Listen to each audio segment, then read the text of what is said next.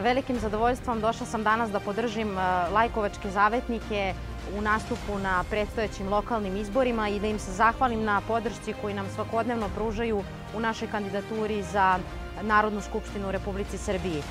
Ovde sam da pošaljem poruku da će Srpska stranka Zavetnici u Narodnoj skupštini insistirati da se očuvaju one opštine koje imaju manje stanovnika, a koje se decenijama unazad suočavaju sa nemarom, sa razgradnjom, sa razvlašćivanjem.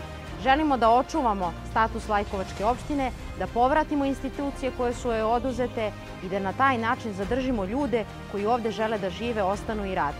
U Lajkovcu nas podržavaju radnici, domaćini, intelektualci, ali i omladina. Svi oni u zavetnicima prepoznaju predstavnike njihovih potreba i njihovih problema. Mi smo jedna od redkih stranaka koja želi da stavi akcenat upravo na te male opštine, jer ne želimo da građane delimo na biračka tela i da brojimo koliko ćemo danas ovde glasova steći, već kolika je vrednost svih ovih ljudi koji su uprkos teškim uslovima ostali ovde da žive.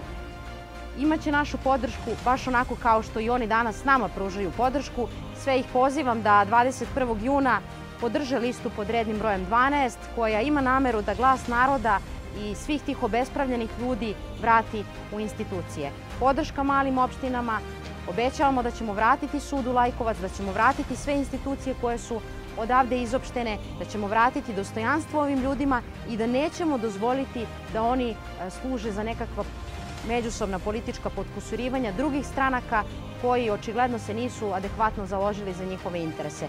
Ulagat ćemo u domaću privredu, podršku malim i srednjim preduzećima, uvek će nam srpski seljak biti ispred uvozničkog lobija, uvek će nam domaći privrednik biti ispred stranog investitora. Na taj način pomoći ćemo da mladi ostanu ovde, podržat ćemo porodice sa više dece, podržat ćemo seljake i uverena sam da ćemo iskoristiti samo ono što nam je dato, što nam, što nam je priroda i Bog dali ovde u Lajkovcu, taj veliki potencijal koji zaista može da ponovo povrati stari sjaj ovoj opštini i da ove ljude učini ponosnim na njihovu opštinu i na njihovu zemlju. Još jednom, hvala svima na podršci i idemo hrabro za Lajkovac.